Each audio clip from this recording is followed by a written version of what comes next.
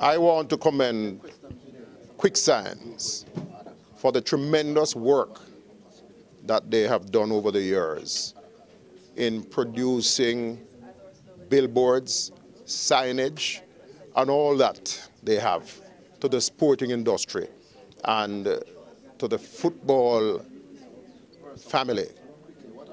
Over the years, it is Quick Signs that has produced most, if not all, the birds that one sees at the National Stadium and in other stadia around the country.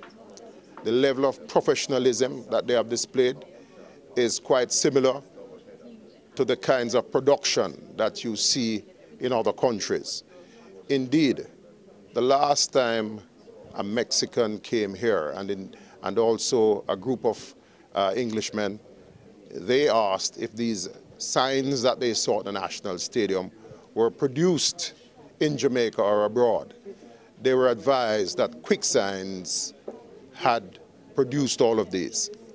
Quick Signs has taken a new move, a new step to improving the whole business of producing billboards and other types of graphics.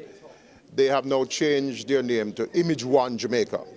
So Quick Signs has switched now to Image One Jamaica and will continue to embark on the business of producing billboards around fields or other graphic artworks for the sporting industry and in other endeavors.